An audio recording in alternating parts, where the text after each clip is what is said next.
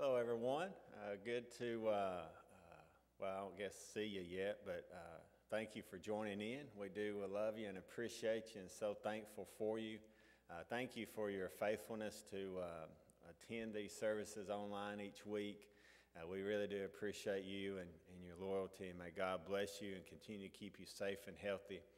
And again, we are praying for you, and if we can minister to you or help you in any way, we do desire to serve you. So, any way we can help you out, please let us know. But hope you and your family are doing well, and hope that your uh, uh, these uh, services are encouraging you and helping you and helping your walk uh, grow stronger with, with God each day. And so, thank you so much for joining us. I would like to mention a few announcements. uh, don't forget, on Sunday, May 31st, from 2 to 3, will be a drive through baby shower for Justin and Bailey Collins. Uh, they will be having a girl, uh, Blakely Redden. Uh, they are registered at Target and Amazon. And so don't forget about that on uh, Sunday, May the 31st. Uh, and also, uh, this coming Sunday, the 24th, we are starting our services back live here at church. And so we'd love for you to join us. the service will be at 9 o'clock. And so uh, we'd love for you to come. If you still feel uncomfortable, uh, that is okay as well. You can still see the services online. Uh, but we, uh, if you can come, we'd love for you to come Sunday. But we do need you to please, uh, either through uh, Facebook or, or calling the church, uh, will you please let us know uh, how many will be coming with you Sunday so that we can be prepared? we have about a maximum of 200 that will fit in the sanctuary, and then we're working on an overflow room if need be. Uh, and so, if you wouldn't mind letting us know if you will be here Sunday, uh, we would uh, surely appreciate that. But thank you so much. We uh, are looking forward to seeing you. Um, and also, if you would like to come by uh, Sunday or next week to pick up Sunday school material, uh, you can, uh, can do that as well. They'll be in the Sunday school rooms, uh, so don't forget about uh, that. But we do love you and appreciate you. Thank you so much for joining in. May God bless you um, and give you a wonderful experience. Let us pray. Dear God, thank you so much for your love and your compassion. Thank you for uh, your forgiveness and your hope. Thank you for who you are and for what you do for us. Thank you for always being with us. And we we love you and help us love you with all of our heart, soul, mind, and strength. Help us stay focused on you and help us seek you and your wisdom. Lord, continue to be with each one. Continue to let them know that you love them and that they are very valuable to you. Continue to keep each one safe and healthy. Uh, please protect them and provide for them. Continue to do your amazing work in their lives and in their midst. I just pray, Lord, that you'll minister to them in a powerful way. Lord, grant them what they need from you and help us all experience you and share your love with those around us. Lord, thank you for how you bless us and use us to bless others. Lord, be with uh, Miss Gail. Please be with uh, Brother Doug and please be with Brother Scott as they uh, lead us in worshiping you, Father. Please bless them and uh, use them in a powerful way. Help us be obedient. Help us always honor you. In Jesus' name, amen.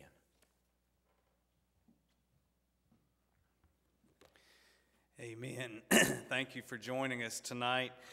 Jesus' blood is full of great power. It's full of the power to uh, provide us with salvation. It's full of power to help us live the Christian life every day. And so we're going to sing, There is Power in the Blood.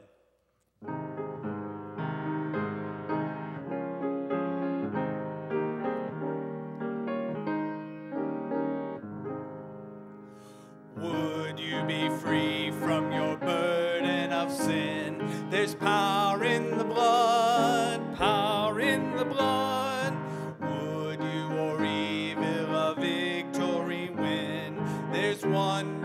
power in the blood. There is power, power, wonder working power in the blood of the Lamb. There is power, power, wonder working power in the precious blood of the Lamb. Would you be wider? Would you be whiter? much whiter than snow? There's power in blood, power in the blood. Sin stains are lost in its life giving flow.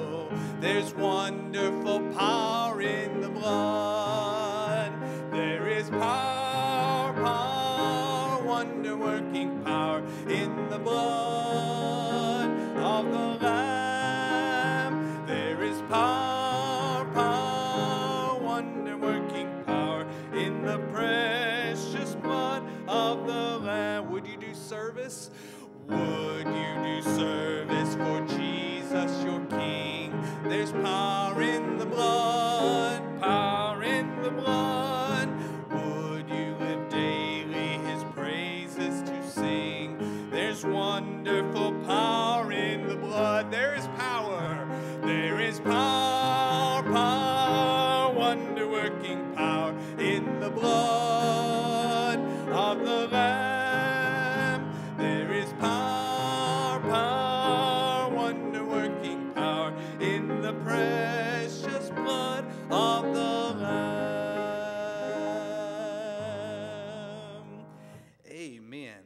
so much. Our next song uh, is a simple thank you to the Lord for the power that is in the blood of Jesus Christ.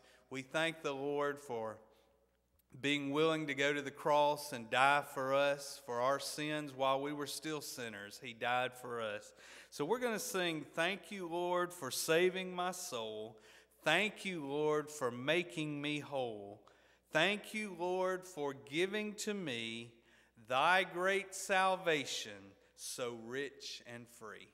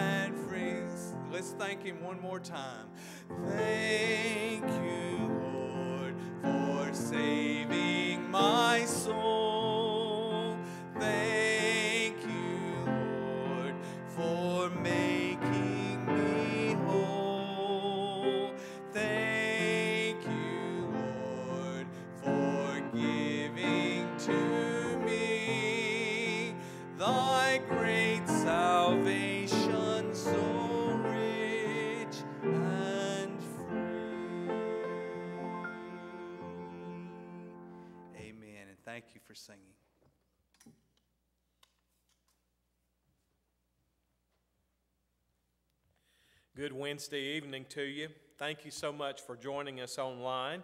On Wednesdays, we've been making our way through the book of First John. So if you have a, a copy of God's Word, I'm going to invite you to turn with me to First John chapter 3. 1 John chapter 3, and we're going to begin reading in a moment in verse 11. We're thinking about this thought tonight love or death. Love or death. Now, John's letter has been compared to a spiral staircase because he kept returning to the same themes. Those themes are love, obedience, and truth. Even though these three themes recur, it's not that they are merely repetitious. Each time we return to one of these three themes, we look at it from a different point of view and we go a little bit deeper into that subject. Now, we've already talked about how important it is that we love other believers, the brethren. We talked about that back in 1 John chapter 2, verses 7 through 11. But back in chapter 2, the emphasis was on our fellowship. In other words, if we have fellowship with God, we will love other believers. If we're walking in the light, we will love one another. Uh, but in our present section, the emphasis is on his relationship with other believers because we've been born of God. Christians love one another because they've been born of God, which makes them all brothers and sisters in Christ. So, obedience and love are both evidences of sonship and brotherhood. We have been reminded that a true child of God practices righteousness. And now we look into the matter of love for the brethren. And that's, that's really beginning in verse 11 of chapter 3. This truth is first stated in the negative. So I want you to look at verse 10 of 1 John 3. In this, the children of God and the children of the devil are manifest. Whoever does not practice righteousness is not of God, nor is he who does not love his brother. So this truth is stated in the negative. Now, when it comes to this matter of love, there are four possible levels on which we can live, okay? On which a person can live. So I'm going to give you four levels, and you're going to see that two of these are, are anti Christian, and one uh, is questionable, and only the fourth really uh, should be a part of the, the life of a Christian. All right? So let's take a look at four levels on which we can live. And remember, the emphasis, the encouragement here is that you and I love one another because we have been born of God. Okay? First level on which a person can live with another person is the level of murder. Okay? I know, man, that's pretty extreme. So if you'll take a look there at your Bibles, 1 John 3, verses 11 and 12. Look at what John says For this is the message that you heard from the beginning, that we should love one another. Not as Cain, who was of the wicked one and murdered his brother. And why did he murder him? Because his works were evil and his brothers were righteous. Now, murder is the lowest level on which one may live in relationship to someone else. It's the level that Satan lives on. The devil was, the Bible says he was a murderer from the beginning, but we have heard as Christians from the beginning of our salvation that we are to love one another. Uh, in fact, John talks about that in verse 11. He says, Go back to the beginning.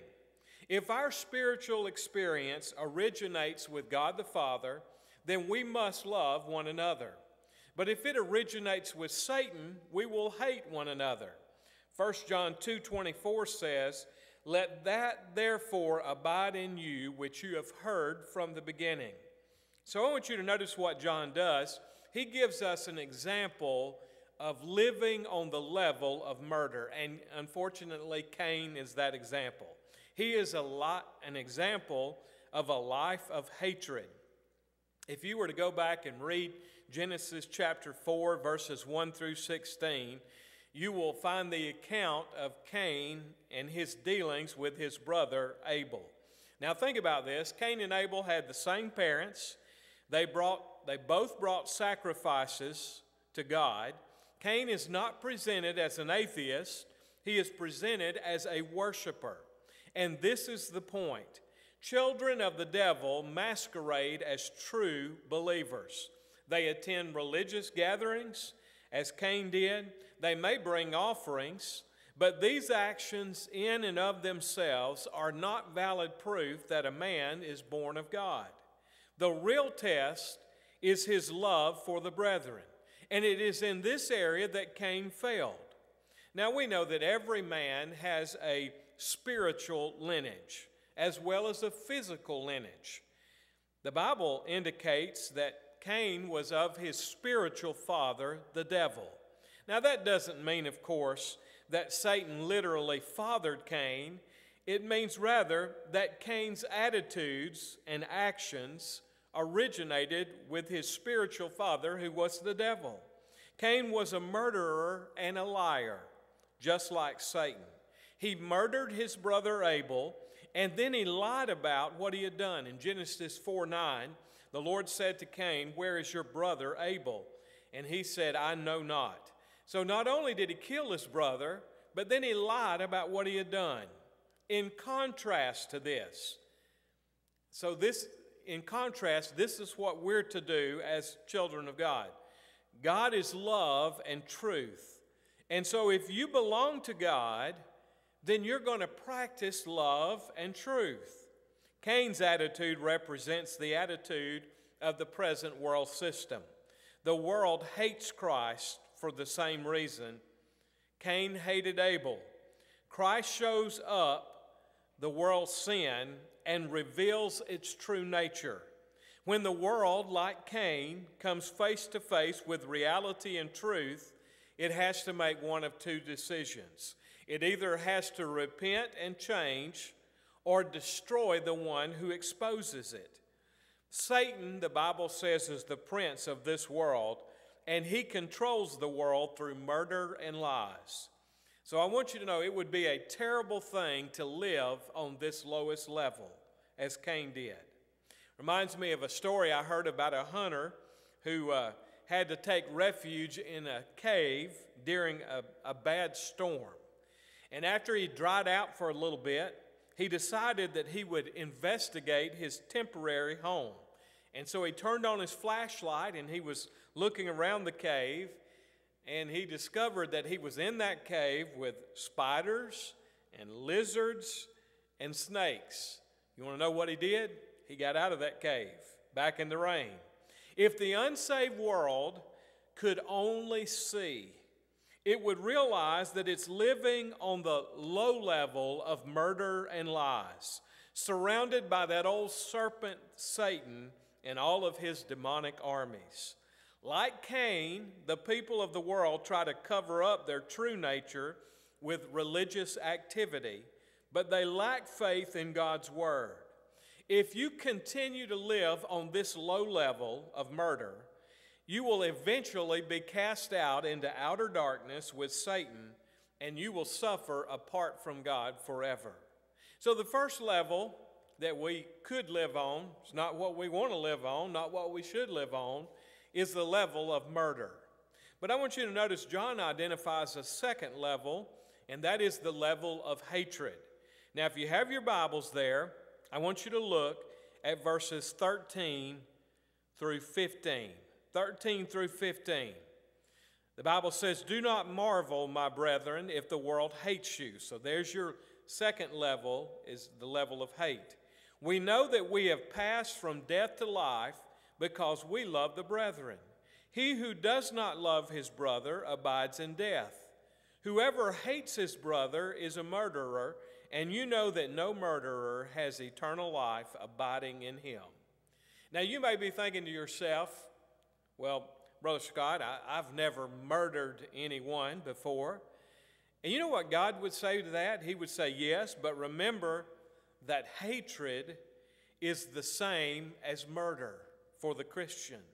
The only difference between level one and level two is the outward act of taking life. The inward intent is the same. I remember hearing a story one time of a person who went to the zoo and they were watching the lions. And so he actually approached the zookeeper and he said, I have a cat at home. And he says, Your lions act just like my cat. Look how they're sleeping so peacefully. It seems a shame that you have to keep these beautiful animals behind bars. The zookeeper said, My friend, these animals may look like your cat, but their disposition is radically different. There is murder in their hearts. You better be glad the bars are there. You know, the only reason that some people have never actually murdered anyone is because the bars that have been put up the fear of arrest or shame, the penalties of the law, and the possibility of death. But we're going to be judged by the law of liberty, says James 2:12. The question is not so much what did you do, but what did you want to do? What would you have done if you had been at liberty to do what you pleased? You know, that's why Jesus equated hatred with murder in Matthew 5 21 through 26. He equated lust with adultery in Matthew 5 27 through 30. So, what would you have done if you would have had the liberty to do what you wanted to do? Now, this does not mean that hatred in the heart does the same amount of damage or involves the same degree of guilt as actual murder. I can promise you that your neighbor would rather you hate him than murder him. But in God's sight, hatred is the moral equivalent of murder. And if you allow hatred to be unbridled, it can lead you to murder. A Christian has passed from death to life, and the proof of this is that he loves the brethren. When, when that Christian belonged to the world system, he hated God's people, but now that he belongs to God, he loves them. These verses, verses 14 and 15, are like those that deal with the habitual sin of a believer, a, a settled habit of life. And so, a believer that is in the practice of loving the brethren, even though on occasion he may get angry with his brother. That's what John is teaching. He's not teaching that you won't ever be angry, because those of you that are married, you know that from time to time we may get angry with your spouse. So he's not teaching that we never get angry, but he's talking about the normal bent of our life. Um, we ought to love the brethren, all right? So, two levels that we've talked about tonight, and both of these are unacceptable for the believer. The first level, the lowest level, is murder, the second level is hatred.